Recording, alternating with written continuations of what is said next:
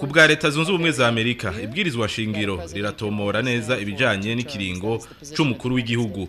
Umukuru w'igihugu ntashobora kurenza ibiringo bibiri. Iyindi mpanuro yahawe umukuru w'igihugu hamwe n'abashikiranganji ni ijambo ryashikirijwe n'userukira igihugu ca Angola mu ishirahamwe mpuzamakungu ONU. Aho naho akaba yamubwiye ko rimwe na rimwe biba nkenerwa gufungura ibikere ku neza y'igihugu.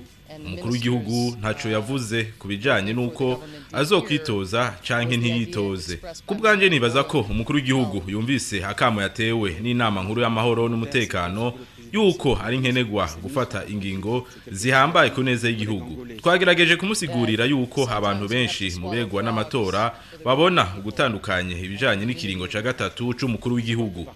Ntitwaje dufise ishusho kuri ibi na biriya ariko twarumvise ko mu gihe umukuru w'igihugu yokwitoza vyocanishamwo abarundi.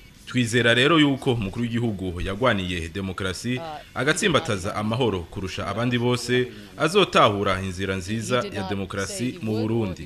Et nous espérons donc que le président qui a fait plus pour le Burundi, la démocratie et la paix que n'importe qui d'autre comprendra dans quelle direction va l'intérêt de la démocratie au Burundi.